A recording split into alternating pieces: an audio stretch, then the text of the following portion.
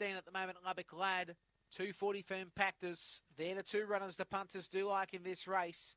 As the green light goes through, the lures on the move. Race 11, the Carlin and Gazard MG stake over to 400. Ready and away, Impactus began nicely. Lubbock Lad showing very good speed, and Lubbock Lad will go towards the lead. Impactus in second, now rolling on the outside. Fort Kembla into third position will be Hostile Raven. Impactus back to four. Then came Gizmo and back at the tail, Arby's Chloe. The leader here is Lubbock Lad. On the outside is Hostile Raven. The inside, Fort Kembla. It's still here. Lubbock Lad, the leader by a length, and Lubbock Lad holds on the win by half length. Lubbock Lad defeats here Hostile Raven in second. Then came Fort Kembla alongside Impactus.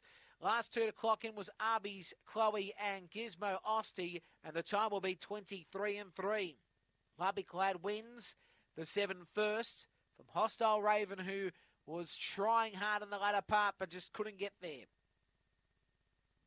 So, seven two, and we are just await for the third number to come through on the semaphore.